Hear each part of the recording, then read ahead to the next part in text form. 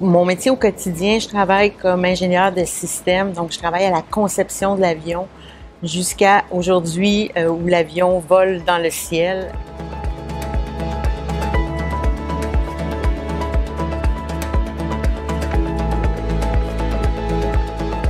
Ça fait déjà plus de 25 ans que je travaille dans l'industrie aérospatiale. Euh, j'ai étudié en génie mécanique. Par la suite, j'ai travaillé chez Bombardier. Euh, j'ai travaillé dans plusieurs modèles d'avions chez Bombardier, euh, le Challenger qui est un avion d'affaires, euh, le CRJ, des avions régionaux. Euh, pendant, euh, j'ai fait aussi beaucoup de sport à la production. J'ai eu la chance de faire des vols d'essai pour faire des diagnostics en vol de problèmes. Euh, par la suite, je me suis joint à l'équipe euh, de développement du C-Series de Bombardier dans le temps, qui est maintenant le A220 d'Airbus.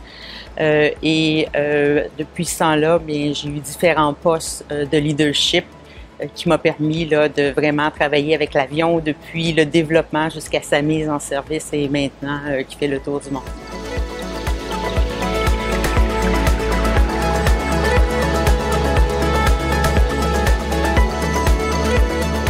Mon plus bel accomplissement, c'est vraiment euh, d'avoir participé à la réussite du A220. J'ai travaillé depuis le début du développement euh, sur l'avion, mais vraiment la plus belle journée, je crois que c'est la journée du premier vol. C'est vraiment là où on a quatre ans d'efforts de toute une équipe euh, qui a travaillé à la conception de l'avion. Puis là, cette journée-là, on voit l'avion prendre son envol.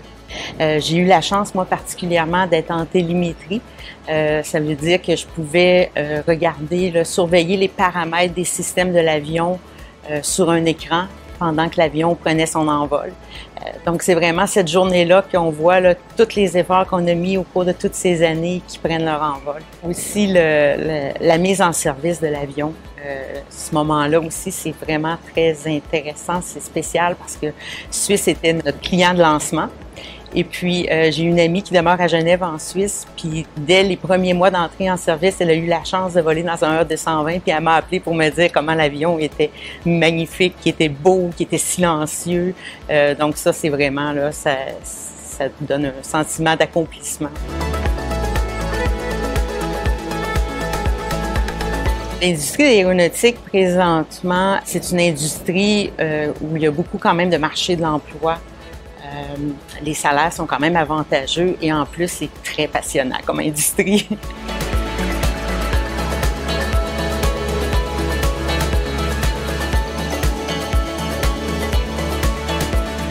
L'industrie aérospatiale de demain sera une industrie beaucoup plus verte, euh, on voit présentement, euh, il y a des biocarburants, euh, il y a des avions plus électriques, euh, des nouveaux matériaux plus légers, plus résistants. Donc, le défi de demain pour les jeunes sera d'intégrer toutes ces nouvelles technologies-là dans l'aérospatiale.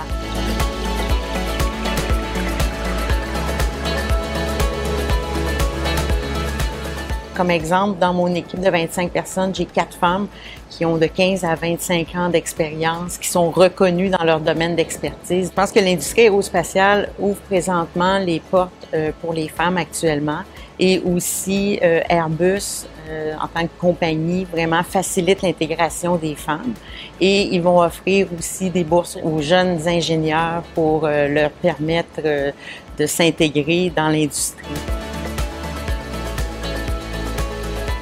L'industrie aérospatiale, pour moi, c'est euh, passionnant, innovant et plein de défis à relever.